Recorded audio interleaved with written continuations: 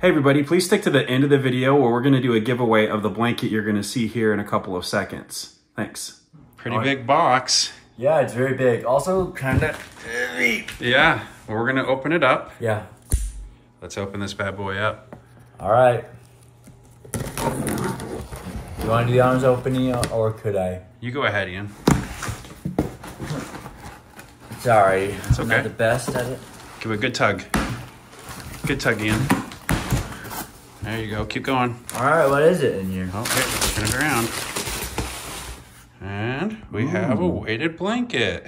It's heavy. Yeah, okay, so put it on the table. And let's get it out and take a look at it. Lifetime warranty, wow. Lifetime warranty?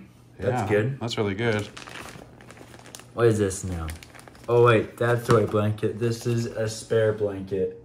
I'm guessing. Here, this. Oh, is, no, no, no. You know what that is? This is the cover. This is the oh. cover to the weighted blanket. That way you can wash it. That makes sense. Basically, you turn the blanket inside out, and these little tabs here, or the little loops, I should say, you connect the ribbon with a loop.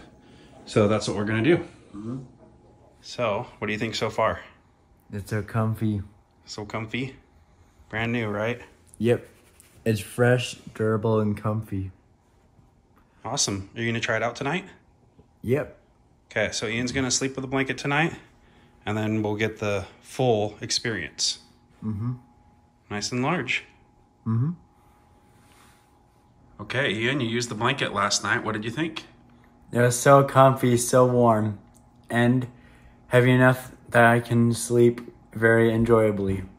Awesome. Thank you. I slept ever so well, and and and in the last several hours. All right, everybody. So you saw Ian use the blanket. Now, the way to win one of these is really simple. We're only doing one, and it's going to be sent from Harkla.